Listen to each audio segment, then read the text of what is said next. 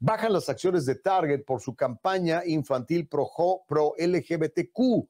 Resulta que esta compañía enorme, Target, ha perdido 9 mil millones de dólares en valor de mercado desde que sus clientes muy molestos pidieron un boicot al minorista con sede en Minneapolis, Minnesota, por el lanzamiento de la colección Pride que presenta ropa para niños LGBTQ.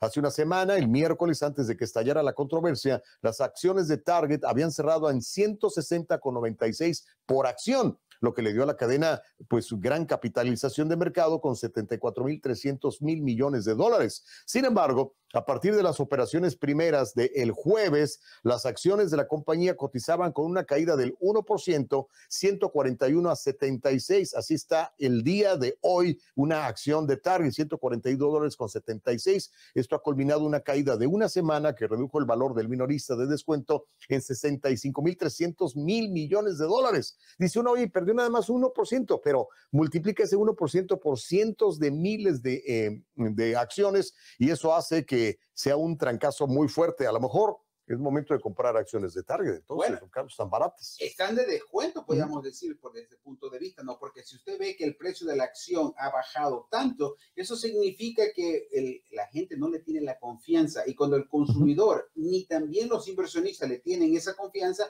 el precio de las acciones tienden a bajar. Pero eso